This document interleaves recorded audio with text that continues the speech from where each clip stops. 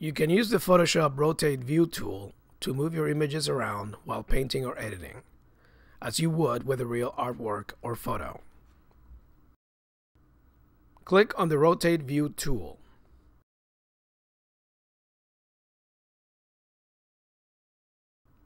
A compass icon shows in the middle of your image. Click on the image and drag your cursor in the direction you want your image to go. You can use your scroll wheel in your mouse to zoom in and out. Choose any tool to work on your image. In this exercise, I am choosing the Color Replacement tool.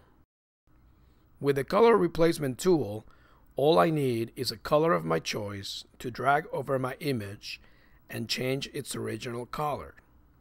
To switch between the Color Replacement tool and the Rotate tool, just press B on your keyboard for the Color Replacement tool and R for the Rotate View tool.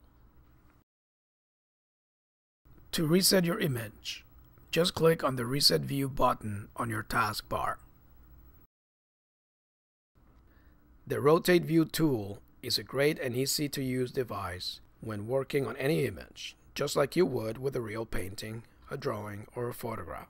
For other tips like this, or to enroll in a Photoshop training course, visit geniusdv.com.